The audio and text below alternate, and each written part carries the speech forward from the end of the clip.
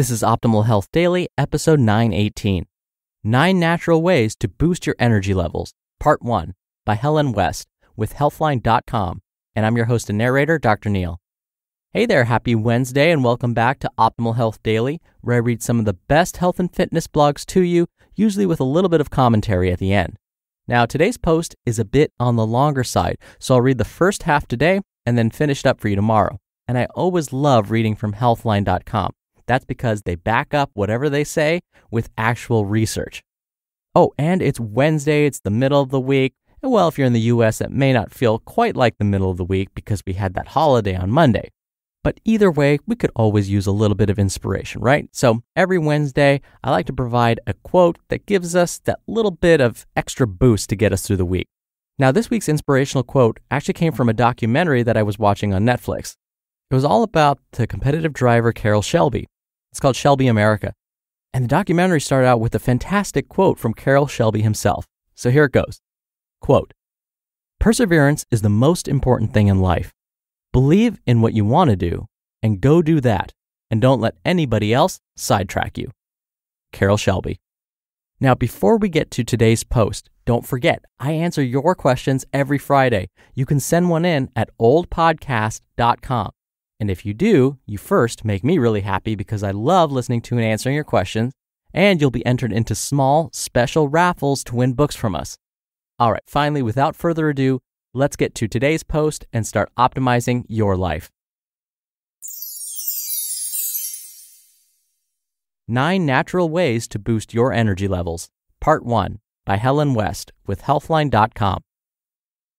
With increasingly busy lives, many people regularly find themselves feeling tired and drained. However, if the tiredness you're experiencing is lifestyle related, there are lots of things you can do to increase your energy levels. This article looks at nine ways you can change your lifestyle and boost your energy levels naturally. 1. Get more sleep. Sleep is something that easily gets put on the back burner when you're busy. From pushing back bedtime to meet a deadline, to missing out on a few hours of sleep due to shifts at work, many people cut back on hours that should be spent in bed. Furthermore, it's been estimated that 20 to 30% of the general population may experience poor sleep, hence missing out on vital rest time. This lack of sleep can result in you feeling lethargic, grumpy, and tired. If you often feel this way, you may want to consider whether you're getting enough sleep. It's recommended that you aim for around 7 hours of sleep per night, although some people require a little more and others need a little less. If you don't sleep as much as you need to, you can try winding down from your day with relaxing behaviors before bed. This could be taking the time to have a bath, reading a book, or getting into bed half an hour earlier than usual. You should also try to avoid using phones and other screens around bedtime. The use of screens before bed has been linked to poor sleep quality, lack of sleep, and increased sleepiness throughout the day. If you're trying to get more sleep but are struggling due to worries and stress keeping you awake at night, you could try meditation or mindfulness practices to calm your busy mind. Summary If you often feel tired throughout the day, you may need more quality sleep. Try going to bed earlier and reducing screen time before bed. 2. Reduce stress. It's not uncommon for people with busy lives to feel stressed, anxious, and overwhelmed. Feelings of stress can mean that you struggle to concentrate, experience racing thoughts, and have difficulty switching off. This can take a toll on your physical and mental health. Feeling stressed has been closely linked to tiredness. In many cases, it may not be possible to completely remove sources of stress from your life. However, if you minimize lifestyle related stress, it could increase your energy levels. Strategies to improve your energy levels include taking some time for yourself to relax, reading, or going for a walk. You could also try mindfulness or meditation techniques, which may reduce anxiety. However, it's important to note that if you feel very stressed and your anxiety is severe, you may need to seek medical and psychological support. Summary High levels of stress can make you feel tired and drained. Finding ways to minimize lifestyle related stress can help keep up your energy levels. 3. Move more. Regular exercise is important for reducing your risk of developing chronic diseases like heart disease, diabetes, and obesity. If you live a sedentary lifestyle, it could be draining your energy levels. Now, when you're feeling tired, getting up and moving your body can feel like the last thing you want to do. Luckily, you don't need to take part in killer workouts to experience these energy benefits. In fact, one study found that sedentary people with persistent unexplained fatigue decreased their tiredness by around 65% just by regularly participating in low intensity cycling. Other studies have suggested that going for a 10 minute walk when you feel tired is a superior pick me up compared to having a snack. To incorporate exercise into your day, you could try getting away from your desk and going for a walk on your lunch break or walking to and from your place of work.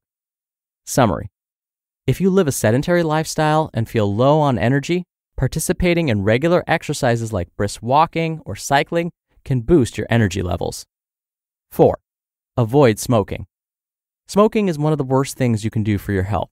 The smoke from cigarettes is extremely harmful and increases your risk of numerous health conditions such as lung cancer, heart disease, and stroke. The toxins and tar in the smoke also reduce the efficiency of your lungs. Over time, this can reduce the amount of oxygen transported around your body, making you feel tired.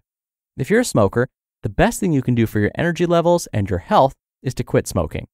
Some find it helpful to switch cigarettes for a nicotine replacement like gum or an e cigarette.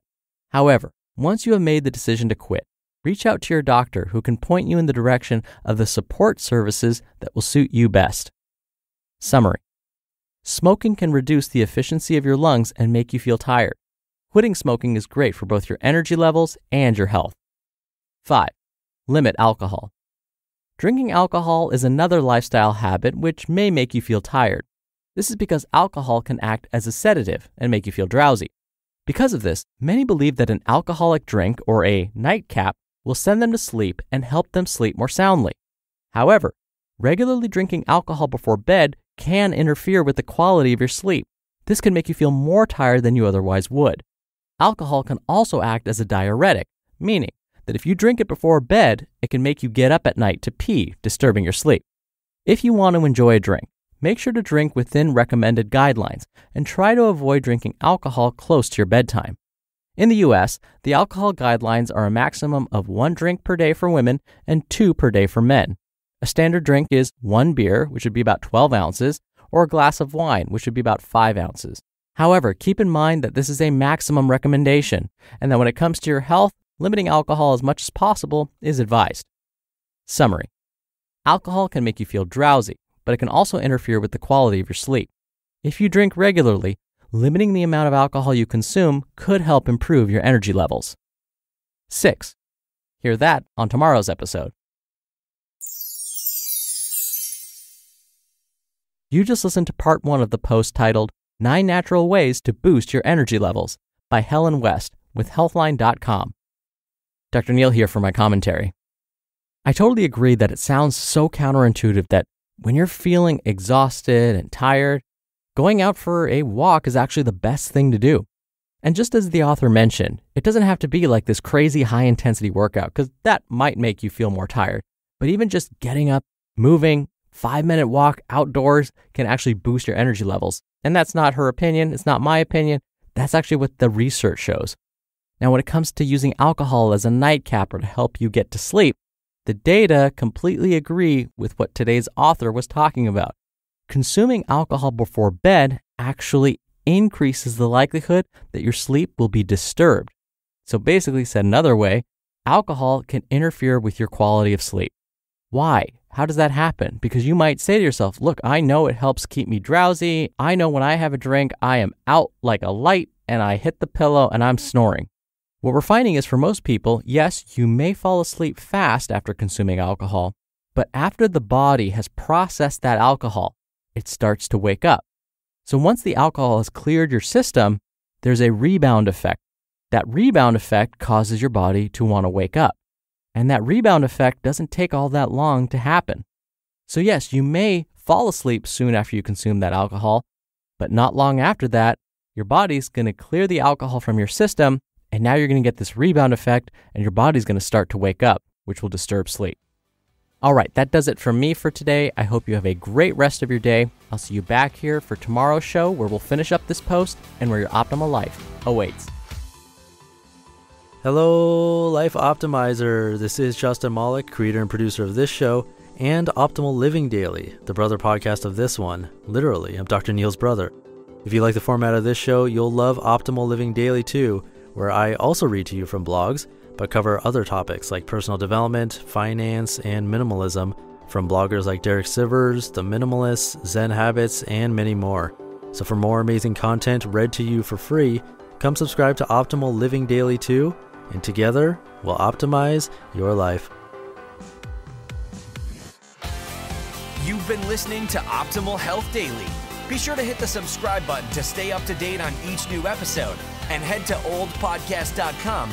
That's oldpodcast.com for a free gift, as well as more actionable tips and resources to help you maximize your potential.